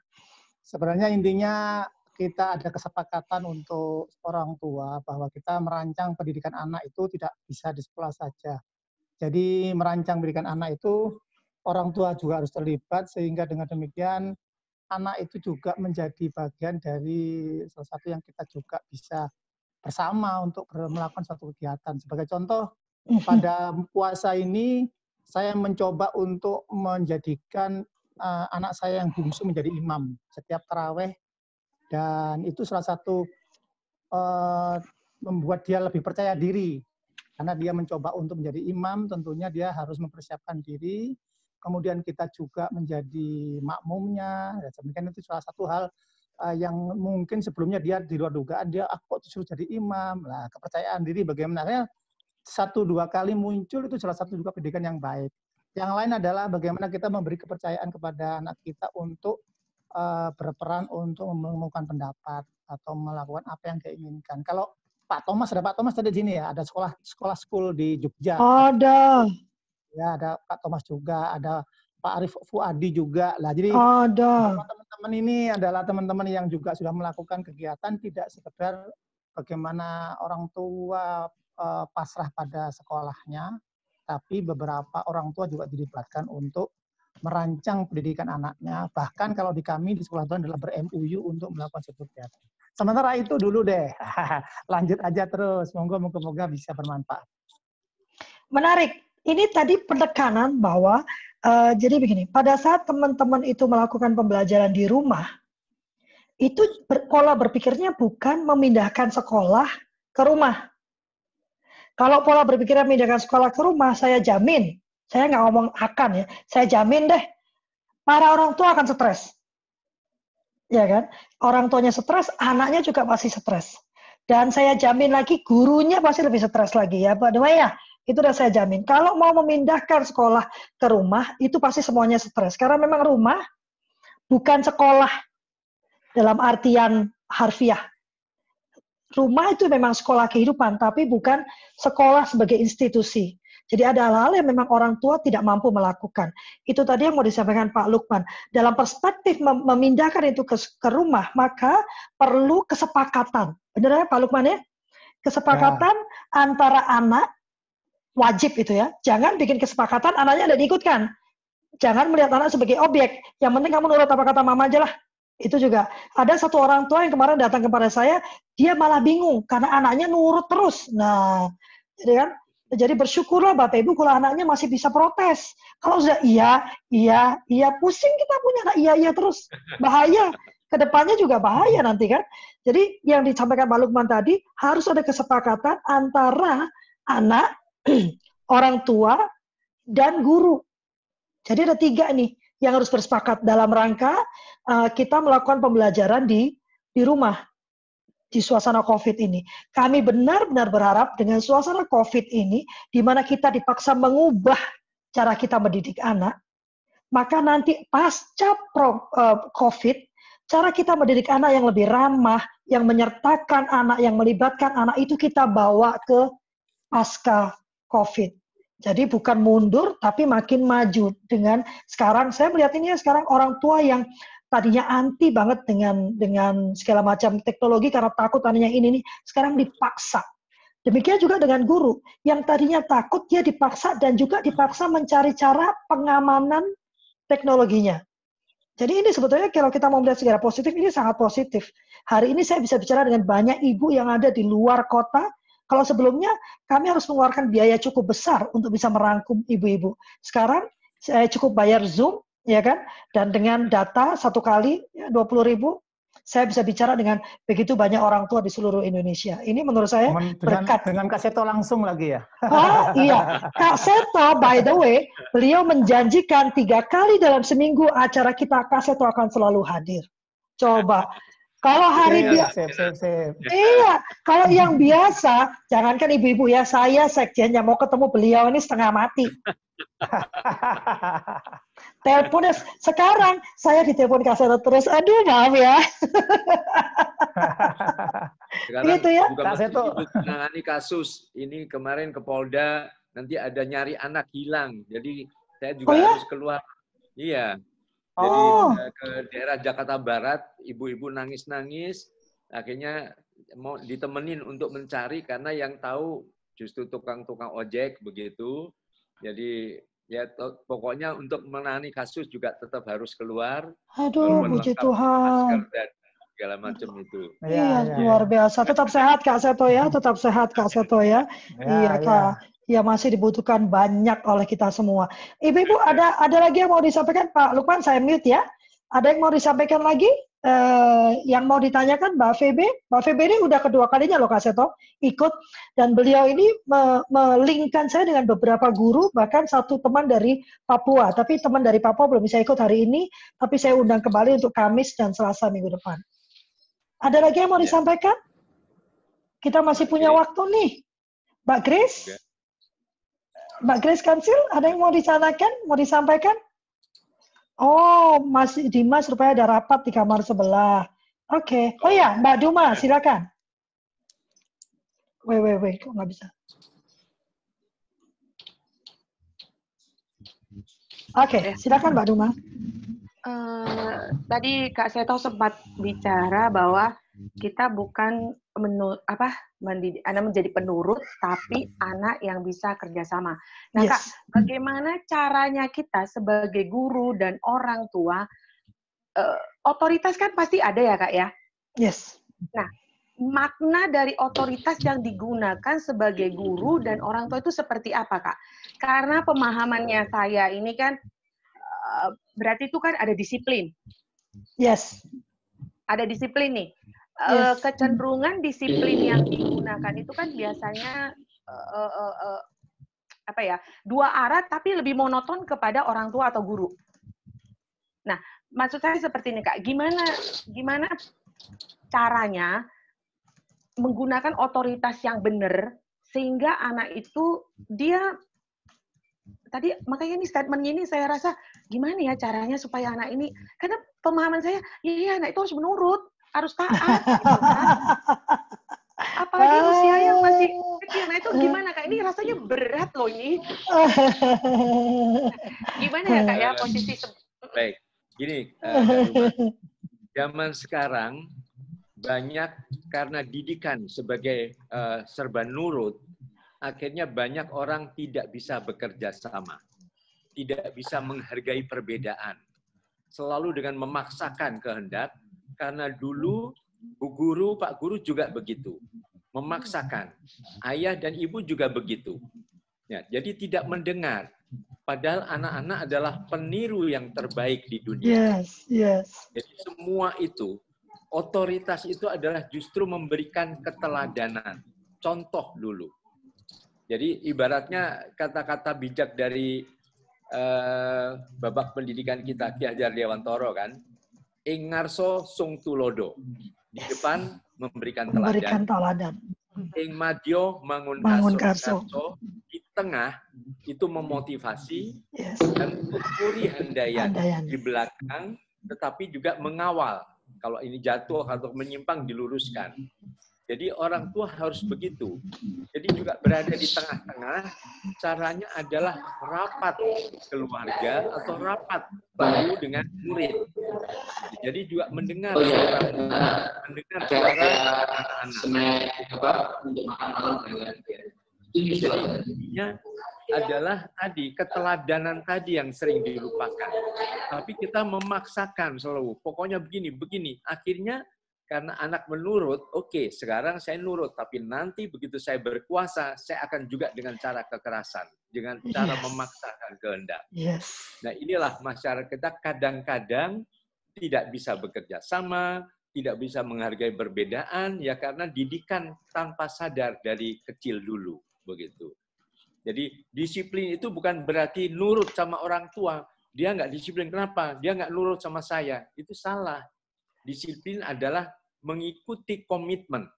Jadi misalnya bagaimana mengenai apa eh, masuk jam sekian, jam berapa? Yuk komitmennya jam sekian masuk. Kalau misalnya terlambat, apa sanksinya? Itu dibicarakan juga. Jadi sanksi itu bukan asalnya dari kekuasaan, tapi justru secara demokratis dari anak-anak itu sendiri. Sehingga kalau anak melanggar, oh iya, saya yang menentukan hukumannya begini ya sudah, saya harus konsekuen begitu. Jadi dengan demikian maka kreativitas anak muncul, komitmen terhadap apa eh, kesepakatan juga diikuti sehingga tidak jadi robot sekedar asal nurut aman. Enggak pernah terjadi suatu saat di mana kekuasaan yang sangat eh, apa otoriter akhirnya ya asal nurut penguasa udah aman. Tidak ada demokratisasi, tidak ada suara dari bawah. Nah, ini harus dibangun justru melalui pendidikan, baik itu pendidikan di dalam keluarga maupun pendidikan di sekolah. Mungkin demikian, Kak Duma. Hmm. Kak Duma Sirait masih saudaranya Bang Aris Merdeka Sirait ya. Sahabat banget itu. ada yang harus ditekan. Iya, ada yang harus ditekankan. Kata otoritas itu perspektifnya, ah, ini penting ini. Otoritas itu perspektifnya perlindungan. Iya, Jadi bukan kekuasaan. kekuasaan ya. Ya, kalau perspektifnya perlindungan, jelas otoritas itu ada di tangan orang tua. Artinya, hal-hal yang kira-kira akan membahayakan, maka orang tua menggunakan otoritasnya atas nama perlindungan. Nah, jadi harus beda. Kata yang sama dengan perspektif yang berbeda, maknanya bisa dari barat sama timur. Iya Iya, kan? iya. Iya, jelas saya otoritas atas otoriter atas anak-anak saya dalam rangka perlindungan. Jadi kalau dia dihadapkan pada kesulitan, saya yang punya kuasa untuk ada di depan, melindungi anak saya, ya kan? Nah, cuma tadi dalam bicara tentang eh, disiplin dan segala macamnya, eh, saya rasa lebih sulit men- men- mendidik anak yang mau bekerja sama. Tapi pada saat pendidikan itu terjadi, lebih mudah kita menjadi orang tua. Karena kalau penekanan adalah ketakutan, maka nanti kalau ibunya nggak ada, jadi dia. Ya kan? Karena dia takut sama dengan kita deh. Kalau nggak ada polisi, ya kan, keremet, keremet, keremet, lolos. ya kan? Kita Iya. kan begitu. Ya kan? Makanya ada kamera CCTV itu, ya kan? Iya. Kita mulai ketakutan. Tapi biasanya yang kita cari kan polisi. Sampai kalau di Tangerang, ayo. Mbak siapa tadi rumahnya di Tangerang? Mbak Ami ya? Di Tangerang itu di Serpong, itu Kak Seto, ada boneka polisi Kak Seto. Ya, beneran. Jadi di pojokan itu ada boneka polisi. Kalau kita dari gelap malam-malam, kelihatannya emang kayak polisi beneran. Terbayang nggak sih be- betapa hancurnya kita itu sampai dikasih boneka? Karena kita cuma takut kita akan patuh sama aturan. Ya. Iya. Kenapa? Karena dari awal begitulah didikan kita. Eh, namanya. Begitu mama nggak ada, "Shh, nggak ada, mama nggak ada. Ya kan? Jadi lebih mudah yang mana nanti pada sekitar. Karena kan kalau anak kecil bu senakal-nakalnya masih oke lah. Masalah kita nanti kan muncul kalau dia udah 16, 17 tahun, itu baru ada masalah kan? Gitu kan? Baru kita bingung bagaimana ngomongnya nih sama anak remaja. Kalau anak itu sudah terbiasa bekerja sama dengan orang tuanya, wah, saya puji Tuhan anak saya sudah 23 tahun, masih 19 kan saya tahu, waktu beliau mereka masuk 16, eh, teman-teman saya bilang nanti pas 17 dia akan membenci ibunya. Waduh, saya takut kan. Waduh, nanti 17 dia benci ibunya. Begitu dia masuk 17, anak-anak saya ini malah jadi eh, ini lebay. Jadi di mamanya dicium terus. Saya ini apaan sih kamu? Waktu kecil kan yang saya yang nyiumin. Kalau waktu dia makin besar dia cium terus di depan umum. Dia bilang karena di rumah saya tuh Kak Seto ada peraturan, begitu umur 19 tahun dia harus keluar. Jadi dia harus hidup mandiri. Dia kerja, dia cari uang sendiri, dia hidup sendiri. Jadi begitu 17, biasanya anak-anak saya jadi lebay. Kurang dua tahun lagi aku nggak bisa cium-cium mama. Jadi mereka cium-cium mamanya terus. ya, tapi memang waktu kecilnya sengsara saya karena tujuannya adalah membuat mereka mau bekerja sama. Banyak diskusi, banyak debat, banyak tawar-menawar, pokoknya gitulah ya. Rumah udah kayak eh, gedung MPR. Coba sampaikan apa maumu? Tidak bisa. Kalau dedek bagaimana? Bahkan minta uang saku pun harus bikin proposal, Pak Seto. Dia harus bikin proposal. Kenapa? Kenapa sebegitu banyaknya? Udah pokoknya pusing lah. Kak Irfan, mau disampaikan? Kak Irfan kemarin tuh eh, bikin saya eh, agak tertusuk kepala saya, Kak Seto. Ide, timbul ide. Ya, karena Kak, Seto, Kak Irfan kemarin mengundang anak untuk berbicara kepada orang tua, bagaimana sih bentuk parenting yang dia mau. Jadi minggu depan Kak Seto, aku nyontek ya idemu ya.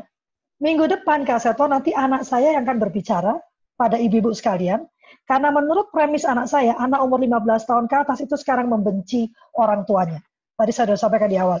Dan nanti dia akan berbicara supaya kita bisa lihat apa sih yang membuat anak-anak ini berpikiran seperti itu.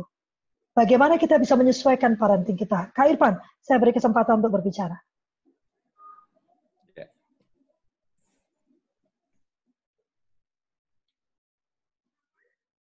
Coba di-unmute ya. Saya kok susah dari sini. Oke, silakan. Ya, baik, kalau Fi, eh, selamat siang semuanya. Kak Seto, ada Pak Lukman juga. ya. Ada. Luar biasa hari ini. Maaf, Bu, di sini hujan deras kalau suaranya nggak jelas. Hujan deras. No, sangat jelas. Batikmu juga sangat jelas, bagus sekali batikmu. Ya, Silakan. eh, saya punya rumus Us. grow namanya. G R O W. Nah, ini salah satu tool coaching sebenarnya. Ini bisa Hmm. dipraktekkan kepada anak SD, SMP, atau SMA. Hmm. Bahkan kita sebagai orang tua. Begitu. Nah, saya selalu berupaya untuk membiasakan berdiskusi, bermusyawarah dengan anak, mengajak anak untuk tahu apa yang harus ia capai sesederhana mungkin. Mau itu pelajaran, mau itu apa pun cita-citanya atau bakatnya dan seterusnya. Hmm. Jadi kita ajak anak untuk punya tujuan dengan tadi rumus G yang pertama itu adalah G dari grow itu adalah uh, goal. Ajak anak untuk membuat goal. Membuat goal, mendesain goal. Gitu kan, goal anak gitu kan. Kemudian yang kedua, ajak R. anak merencanakan sesuatu, plan. Oh, R, R, sorry, R dulu. Eh, itu yang lain. Eh, apa namanya? G, Nah, salah- R, salah R ini. Itu, eh, iya, salah kertas. Udah dicatat apa soalnya. namanya? Yang kedua adalah R. R ini adalah realitas, reality, Oke. kondisi saat ini. reality itu kondisi saat ini. Ajak anak untuk mengetahuinya. Mhm. Kemudian yang ketiga adalah O. Oke. O itu adalah option. Rencana tindakan. Nah, biasanya kan kita mengarahkan anak ya. Mhm. Kalau kamu mau begini, harus begini, harus begini, harus begini, harus begitu. Nah, ini tidak. Ini anak yang diajak dengan membiasakan merubah kalimat perintah dengan kalimat tanya. Nah, Mhm. kira-kira menurut kamu, jika kamu ingin mendapatkan itu, atau jika kamu ingin mencapai goal tadi, Mhm. apa yang harus kamu lakukan? Begitu. Buat tiga atau lima pilihan solusi, jangan terlalu banyak. Maksimal lima, minimal tiga pilihan solusinya. Eh, apa namanya option ya. Mhm. Kemudian W. yang berikutnya, ketika anak-anak sudah mengemukakan pilihan-pilihan solusi, itu ada W. W itu will. W I double L. Will itu Mhm. rencana tindakan. Nah, ketika anak sudah Oh. selesai merumuskan eh, pilihan solusinya, anak ajak untuk membuat rencana tindakan. Misalkan eh, tadi anggap saja anak-anak ini eh, goalnya satu tahun ke depan saya ingin bisa bermain biola misalkan. Goalnya itu misalkan. Realitasnya sekarang anak ini belum bisa apa-apa gitu kan, belum bisa biola. Nah, kemudian eh, optionnya, pilihan solusinya berarti paling tidak ada empat atau lima atau tiga. Satu, mencari biola. Biarkan mencari sendiri. Dua, membelinya misalkan. Tiga, menyiap eh, sebelum membelinya berarti menyiapkan uang untuk membelinya. Bisa dari tabungannya, bisa ditambah dari orang tuanya, kemudian membelinya. Biarkan dia bertransaksi sendiri. Kemudian mencari tempat sekolah biola, les musik, les biola. Di mana? Biarkan anak memilih sesuai keinginannya, sesuai yang dia tahu. Kemudian mendaftar dan mulai belajar biola. Itu pilihan solusinya. Kemudian yang ke empat, rencana tindakan. Nah, ini berkaitan dengan waktu. Kapan anak tadi akan mencari informasi tentang biola yang baik itu apa, bagaimana, di mana harus beli, itu harus di, di apa kapan? Kapan kamu mau mencari informasi itu? Kapan kamu mau membeli? Kapan kamu mau eh, apa namanya eh, mencari informasi sekolah musik? Kapan kamu mau join, mulai join, dan kapan kamu harus punya kebi apa eh, harus punya kemampuan untuk bermain biola? Nah, itu baru rencana tindakan. Nah, kebanyakan dari kita itu biasanya pintar untuk membuat tadi sampai langkah keempat. Lulus membuat gol, lulus tahu siapa kita hari ini, lulus bisa merumuskan atau memilih solusi gitu kan. Kemudian Bikin lulus rencana. juga membuat rencana, tapi Tapi- biasanya gagal melakukan eksekusi. Nah, 50% tadi sudah. 50 persennya lagi ada di eksekusi. Keberhasilan 50 persennya ada di eksekusi. Begitu. Eksekusi, eksekusi, eksekusi. Nanti saya akan kasih empat disiplin eksekusi selanjutnya. Jangan sekarang Kak, kita masih punya banyak waktu Kak. dulu. Ya. Iya, Itu kita ada masih punya setiap minggu ada. Jangan dihabiskan semua ilmunya Bapak Ibu coba ya. Yang merasakan hari ini itu ini saya baru sampai ke Kak Irfan loh. Saya tahu Kak Arif itu juga punya banyak banyak banyak yang dia simpan. Sayangnya waktu kita sudah habis. Ah, sedih sekali ya. Sudah jam 4 sore ini. Jadi waktu kita tidak terasa ya. Ya, Time flies when we are having fun, right? Iya. Saya harap Bapak Ibu coba yang merasakan mendapatkan manfaat hari ini boleh angkat tangan? Boleh angkat tangan. Ya, ya. Mbak Mercia, Mbak Mercia ini nggak mau buka cam. Jadi apakah merasakan manfaatnya? Tadi ada pertanyaan sebetulnya yang mesti dijawab sebetulnya. Anak SMA yang mondok dan sekarang di rumah, apa yang harus diperbuat orang tua? Hmm, yang punya biasa, uh, kayaknya Mas Arief ya yang pernah mondok dulu ya. Mungkin bisa saya beri waktu uh, sebentar ya, karena ini sudah ada pertanyaan. Kalau nggak dijawab nggak enak ya. Kita perpanjang waktu 10 menit ya, Seto ya. Juri time 10 menit ya. Jadi ada per, ya ada pertanyaan yang menyatakan bahwa jadi anaknya ini biasanya ada di rumah, ya kan? Eh sorry, hmm. biasanya mondok, ya kan? Hmm. Karena kondisi seperti sekarang ini, sekarang dia ada di rumah. Bagaimana orang tua? Apa yang harus diperbuat oleh orang tua? Ya, oke. Okay. Terima kasih. Uh, memang sekarang ini dengar ya? Yes, yes, oh, ya. yes. Jadi memang lingkungan itu sangat mempengaruhi perilaku, terutama ini menurut Profesor Matsumoto, Profesor Saminto dan bahwa eh, lingkungan di pesantren ini sangat sangat membentuk karakter. Ada banyak nilai-nilai positifnya, cuma juga ada beberapa yang kadang kalau di rumah masyarakat umum itu anu apa jadi agak kurang pas gitu karena saya sejak dari SMP sampai kuliah selesai pun itu saya di pesantren. Jadi memang lingkungan di pesantren itu banyak hal-hal yang eh, yang positif, terutama memang ditanamkan dari sejak kecil itu anak harus yang jelas itu kemarin yang menyinggung tentang self regulation ya siapa ya itu bagus sekali karena dengan di pesantren kita anak itu diberikan kemandirian untuk bisa mengatur sendiri. Punya otoritas diri untuk mengatur cash flow karena dengan kiriman yang serba mepet gitu ya. eh, harus cukupnya di mengatur agar cukup biar nggak boros, biar nggak minta lagi. Karena dikit-dikit kalau minta lagi orang tua mesti agak susah. Kan untuk apa aja tuh deh gitu. Itu minimal harus paling tidak sudah mengatur cash.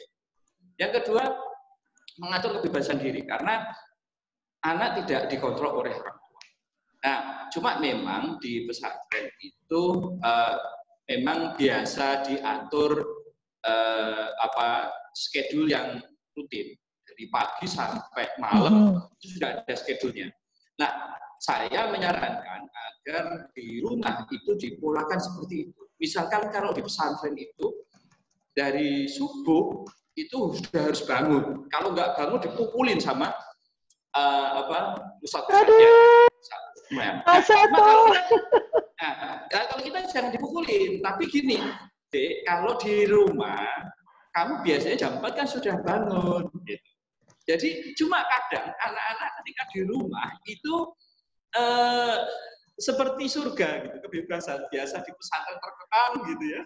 Ini di rumah ini eh, kadang jadi nggak ada yang ini ya, yang marahin, nggak ada yang harus waktunya ngaji, harus waktunya ini uh, apa uh, belajar, waktunya tidur itu nggak ada yang yang kontrol. Nah ini orang tua paling tidak ketika saatnya uh, sembahyang ya dibangunkan. Gitu. Cuma kalau di karena di pesantren kan biasanya baru pintunya dibuka itu dapat karena takut lah. Paling tidak kita bisa bikin pola seperti itu. Jadi kalau jam setengah enam udah pada ngantri mandi, ya di rumah harus dibikin seperti itu. Jangan kemudian siang baru mandi, gitu. karena tentang-tentang. Nah, salah satunya di e, pesantren juga biasa tidak boleh membawa HP di saat e, jam-jam yang bukan waktunya. Nah ini juga di rumah juga harus seperti itu idealnya. Kecuali memang kalau waktunya belajar.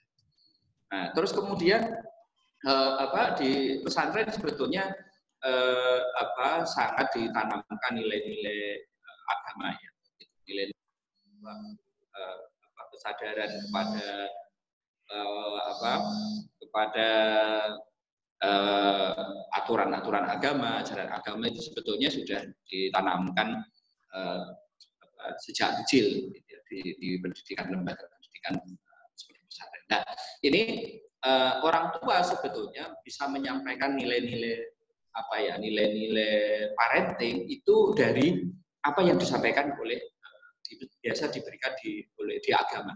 Agama itu pemerintah di dalam agama itu contoh parenting yang sudah sangat bagus dan itu harus bisa jadi teladan itu kalau di agama Islam ya Rasulullah.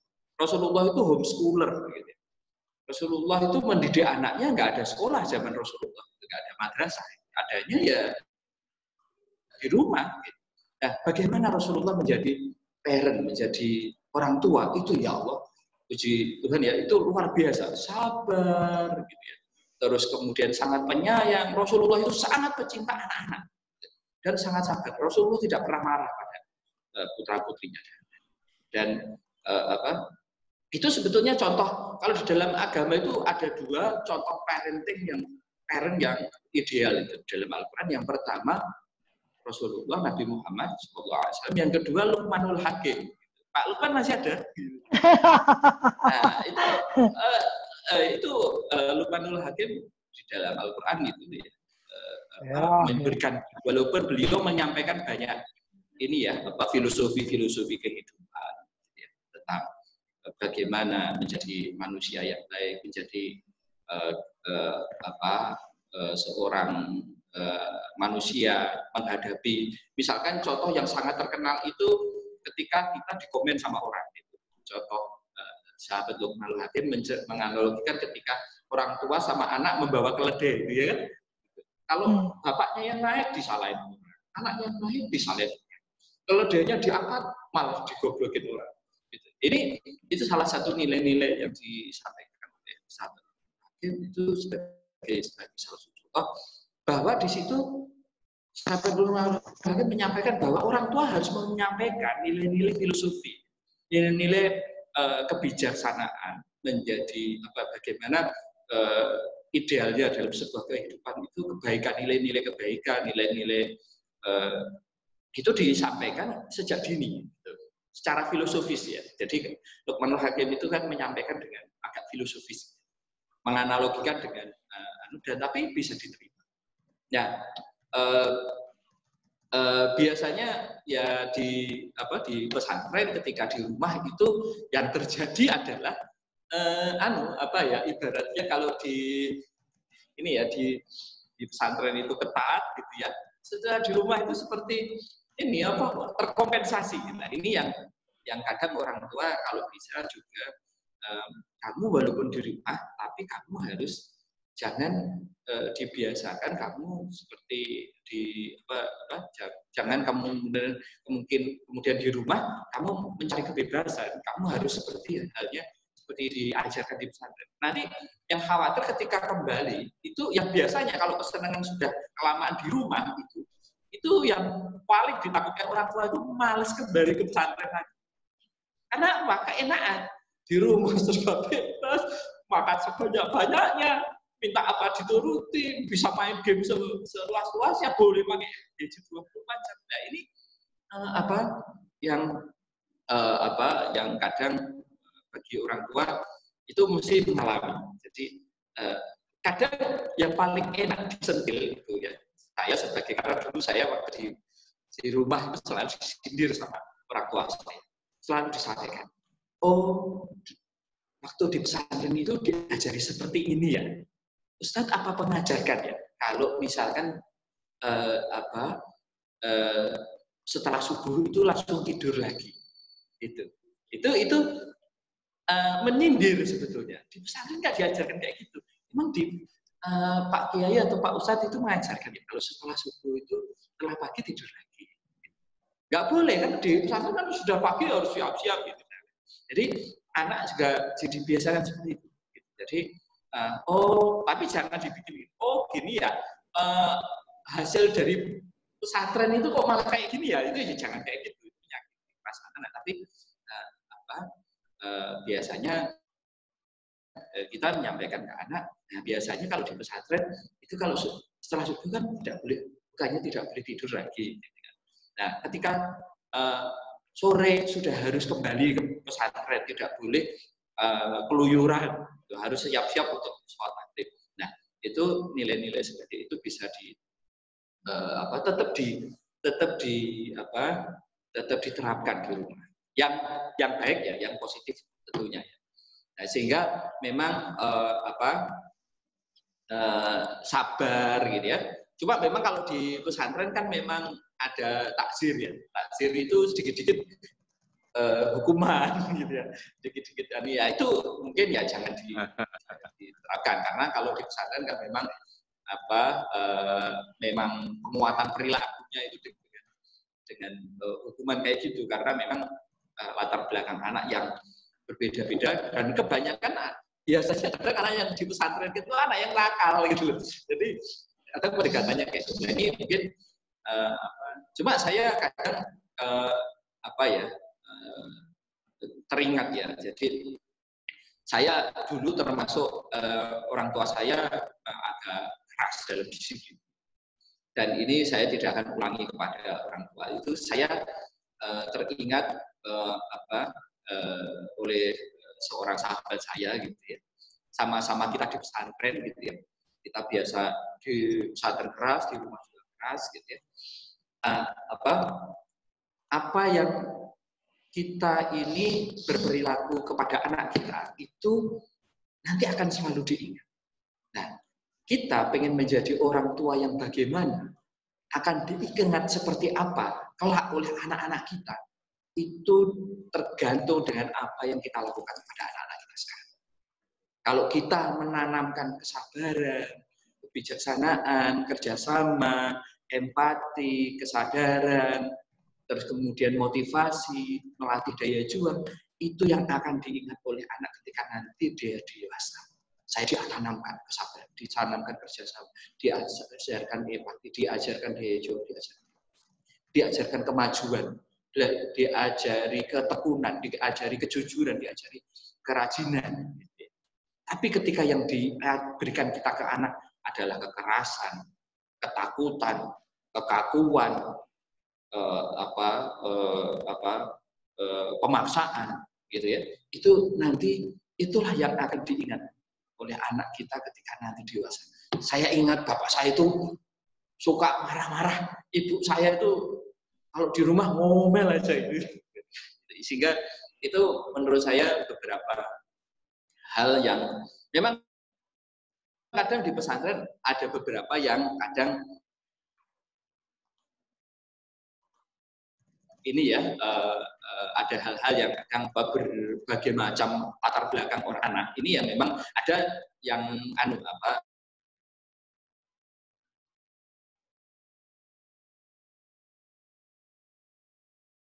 Halo. Yang lainnya mendengar saya kah? Kayaknya punya Kak Arif sedang bermasalah kayaknya. Uh, masih bisa mendengar saya? Masih bisa dengar saya? Mas Arif, apakah sudah kembali? Kayaknya dia bermasalah. Uh, intinya sebetulnya yang ya. Mas Arif, ya, oke okay ya, saya berarti. Ya, intinya yang saya tangkap adalah segala kebiasaan di uh, pesantren Artinya yeah. jadwal kegiatan ya, bukan kebiasaan yeah. yang macam-macam, tapi jadwal kegiatan itu sedapat mungkin diterapkan kembali di rumah, begitu. Betul. Uh, sebetulnya ini kan seperti juga uh, apa uh, sense of uh, apa ya, uh, sense of uh, uh, apa ya ketenangan jiwa itu kan dari rutinitas yang tetap kita lakukan. Kalau saya ingat Kak Seto ya, kalau dalam uh, ada bencana yang terjadi satu tempat, yang pertama diratifikasi itu adalah yang pertama di, di, dibangkitkan kembali adalah sekolah. Mengapa? Ya. Supaya anak-anak merasa aman karena kebiasaan mereka sehari-hari tetap bisa mereka lakukan, ya kan? Jadi saya pikir uh, uh, itu uh, landasannya kenapa uh, yang dilakukan di, di pesantren sudah mungkin dikerjakan di rumah. Karena kalau terjadi disrupt atas uh, kebiasaan itu juga menimbulkan stres baik pada anak, pada kita. Kita saja yang terbiasa pagi-pagi bangun, uh, mandi, lalu berangkat kerja, tiba-tiba tidak bisa ke mana-mana, itu butuh waktu untuk kita bisa uh, apa beradaptasi dengan situasi yang baru. Maka itu juga yang dialami oleh anak, tapi dengan posisi yang lebih rentan. Namanya juga anak ya. Kita kan kadang-kadang suka nakalan ya. Kalau kewajiban maunya sama dengan orang dewasa, tapi kalau hak kan kamu masih anak kecil gitu. Sementara mereka ini jauh lebih rentan daripada kita. Uh, inti dari semua pembicaraan tadi, kalau saya boleh tarik adalah kita harus berubah. Kita dulu nih harus berubah. Nomor satu pahami bahwa ini adalah kondisi bencana. Ini bukan hidup normal, ini kondisi bencana. Jadi segala pemikiran yang yang harusnya segala target, segala pemikiran yang kita miliki waktu kondisi normal itu ditaruh dulu, Bu. Letakkan di hati kita bahwa ini adalah kondisi darurat. Maka nanti kalau berpikir begitu, maka nanti skala prioritasnya berubah nih. Kalau sudah namanya kondisi darurat. Ya kan tidak bisa memaksakan situasi normal di dalam kondisi darurat kita dulu berubah paradigma. Lalu segala yang disampaikan misalnya tentang grow, lalu Bu Ani tadi bicara tentang um, menyampaikan cinta, Kak Seto bicara banyak tentang bagaimana kita membesarkan anak yang mau bekerja sama, itu bisa kita lakukan. Tapi kalau kita tidak mengubah paradigma berpikir kita dulu dan hanya berpikir, aduh anak saya sekolah ini harus nanti Juni kenaikan kelas, gimana ini nanti? Dia harus cari sekolah, harus lulus, harus, harus, harus, harus, harus, harus. Itu nanti yang ah, kita temui adalah anak-anak stres dan kita juga stres. Kita harus menjaga kewarasan kita dalam rangka kita bisa melindungi anak-anak kita dan kewarasan mereka. Kak Seto, waktu kita sudah habis, Kak Seto boleh memberikan uh, kata penutup. Sebelumnya, teman-teman, ini saya rekam. Nanti saya akan upload ke YouTube, dan nanti linknya akan saya bagikan. Dan kita masih punya acara ini setiap minggu, setiap hari Selasa, jam 2.30 ya Kak Seto ya, bersama Kak Seto dan kami semua, pengurus Asapena, ya. Teman-teman bisa bertanya bisa mengungkapkan pendapat seperti tadi tolong ajak yang lainnya gratis.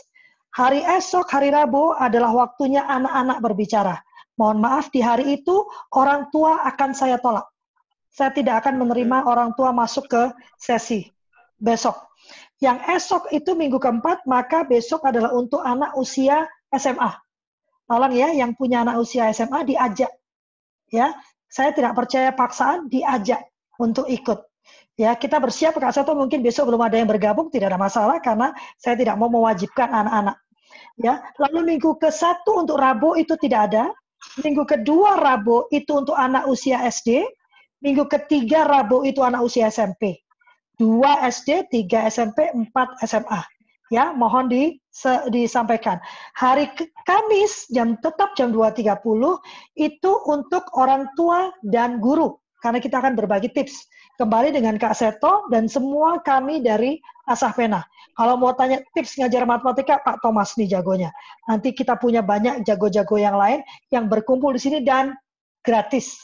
Ini adalah persembahan Asah Pena untuk bangsa. Silakan Kak Seto. Ya, baik Ibu dan Bapak sekalian, kakak-kakak semua, luar biasa sekali, sangat indah. Saya juga banyak belajar, banyak mencatat. Saya menjadi murid kali ini. Eh, baik panduan dari Ibu Ani, dari Pak Thomas, dari Pak Arif, dan semuanya, Kak Irfan juga. Mudah-mudahan semua ilmunya dikeluarkan untuk minggu depan. Ya. Amin. Kemudian ajak uh, para putra-putri SMA besok juga bergabung Mudah-mudahan kita juga dapat masukan-masukan berharga dari para siswa. Siapa tahu juga akan disampaikan kepada Pak Dirjen nanti, karena Pak Dirjen ini sahabatnya Mbak, Mbak Lovely ini. Sekali lagi, terima kasih untuk yang menjalankan ibadah puasa juga selamat. Beberapa waktu lagi nanti juga akan berbuka puasa. Mudah-mudahan kita tetap kompak, tetap solid, dan kita tetap mengedepankan kepentingan terbaik bagi anak-anak Indonesia. Dirgahayu Asafena. Terima kasih. Bye-bye. Waalaikumsalam. Kak Soto. Sampai ketemu lagi. Tuhan berkati saya ya. Bye-bye.